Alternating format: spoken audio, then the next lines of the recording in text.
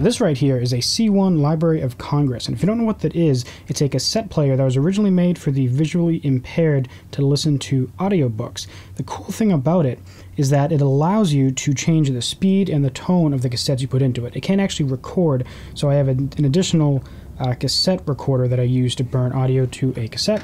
And I can put it in here and I can uh, play back and record uh, from a normal cable. It isn't mono, so there is that is a downside, but makes some incredible sounds. So we're just going to dive right into it. I'm going to show you some of what it can do, and then I'm going to give you the sounds that I recorded off this thing for free in the download link below.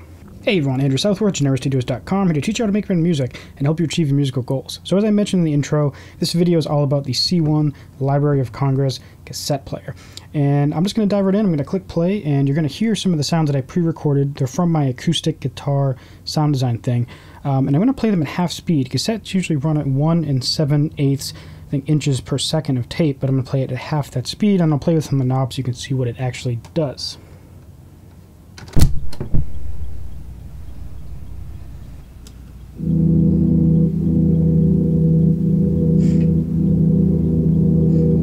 Alright, so as you can see, uh, it's very, very slow. Now I can't actually double it. It's what it originally was. That's what I'm making it. Now I can also go in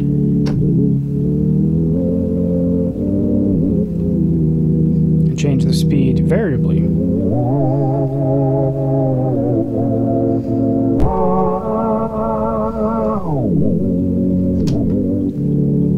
An old unit, and you are running with very slow tape speed, so there is a bit of wobble when you're changing, but if you're setting it up ahead of time, it can actually be very cool. So the next sound here is that effect sound that I originally had, and I'll use this to show you this tone knob.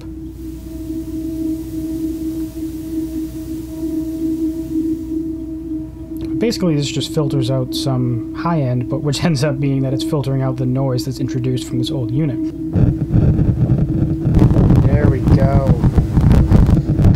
So this is what happens when you put a cell phone next next to an analog uh, source that is receptive to this. So obviously this thing wasn't properly EMI shielded, um, but it's, it's old and it wasn't really meant for high quality audio. So I learned that the hard way when I was trying to record like an hour's worth of stuff back through this thing for audio processing, and it was all ruined because it had those random pops. Um, even this far away, it's still picking up some stuff from my phone. So it seems to be fine in Wi-Fi, but yeah. All right, so next I'm going to record all the sounds that I put on this into my DAW, and then we're going to take a look at them inside the DAW and kind of show you some things that I like to do with them. All right, and we're back in the box, so I've recorded this stuff here at half speed, and I'm just going to start chopping things up. So I'll make a couple new tracks, and yeah, there'll be audio, and I'm going to zoom into this and find where I started. All right, so I forgot that one of the nuisances with uh, working with this type of stuff is lining it up can be kind of a pain uh, because when you record this, it, it doesn't really line up exactly as how you record it just because the tape speeds are kind of wobbly. And again we're dealing with stuff that's decades old so. See if I got this right.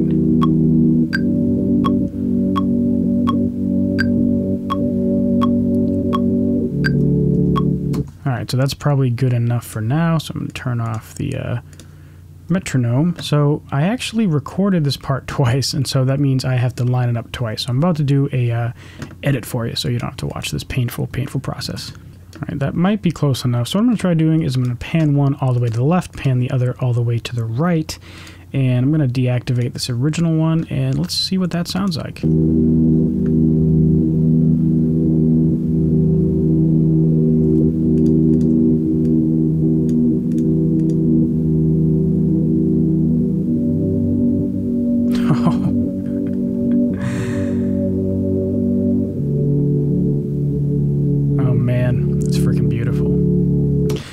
So let's look at the waveform a little bit. I'm going to throw EQs on there anyways. So as you can imagine, there's a lot of low end, and that makes sense because I did slow everything halfway down. So basically, all the frequencies got scaled in half. So just put an EQ8 on there and just get rid of a lot of the low end. And still going to keep it pretty gritty.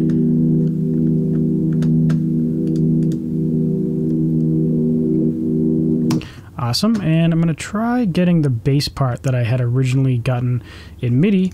And I'm just going to slow that to half speed and put that over this.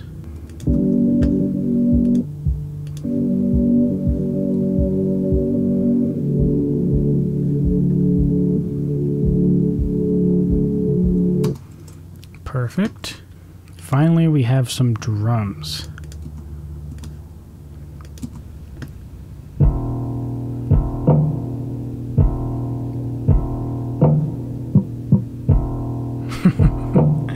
Oh man, it's funny how painfully slow it is. So uh, I'm gonna have to make a new track here. Remember this is in mono, so I'm losing a little bit of the stereo. If I was doing this all the way the right way, what I would do is I would record every single one of those layers separately so I could convert it back to stereo after the fact. But obviously I did not do that. See how that sounds in the context.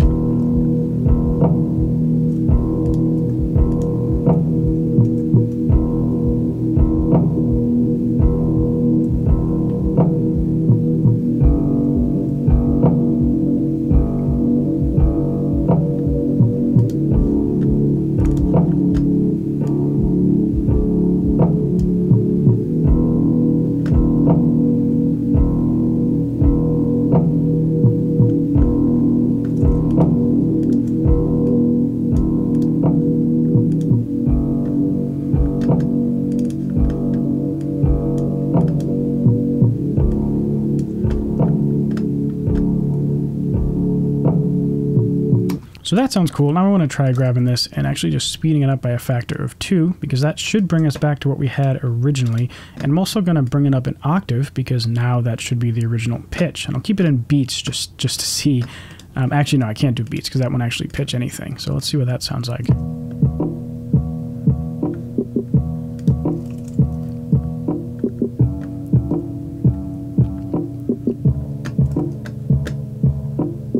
Right, so that is very interesting. I'll show you the original just for uh, comparison.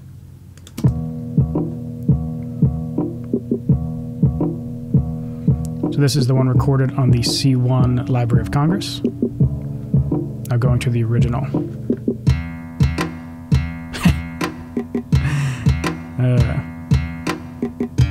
So, first glaring mistake. Um, remember when I mentioned that the the speed of the tape is very variable, which is why it's it doesn't really line up exactly. You have to scale things. Um, that's going to happen to the pitch too. So I can't really just scale by an octave. So I can do this by ear. Uh, I could go in and look at a meter, but I'll do it by ear first.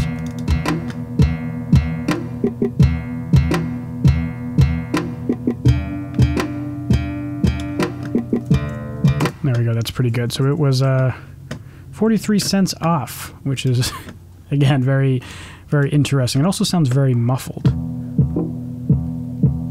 Which makes sense because I recorded that at half speed, so all the frequencies got shifted down, and when I shifted it back up in software, it, it can't reliably recreate those frequencies.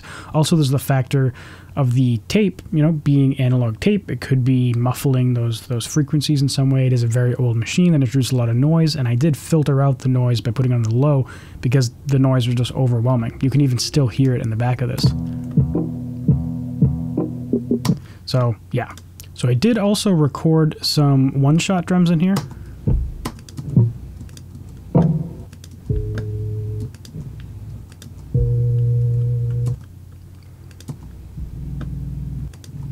And then I did also record the bass, which in hindsight was stupid because it was already a sub. So this is like uh, an octave below sub, but um, you can see I just kind of gave up at the end. This is what it looks like when you turn off the cassette machine while it's playing. It does this crazy, like, I mean, I guess when you have an audio file, you're really just reading uh, voltage over time, I guess. So this is just kind of how the, the voltage goes when you turn it off, which is very, very interesting and a little startling when you see it for the first time. Um, but yeah, so there's one shots in here. There's the drums, there's the effects thing, and there's two versions of that main pad sound. And I'm putting this in here so that if you want, when you download the project files, you can go ahead and make a drum set out of these sounds. You can chop them up however you want, and you have access to this actual part originally, and then you have access to uh, this thing that I made here. So I'm going to uh, spice this up a little bit more, and then you're going to take a listen to it as well after my outro. Thank you very much for watching. If you enjoyed this video, you might like this Music Experiments playlist as well. And also, if you enjoyed the video, please leave a like and consider subscribing because I upload videos every single Tuesday and Friday. So I'll see you in the next video. Bye.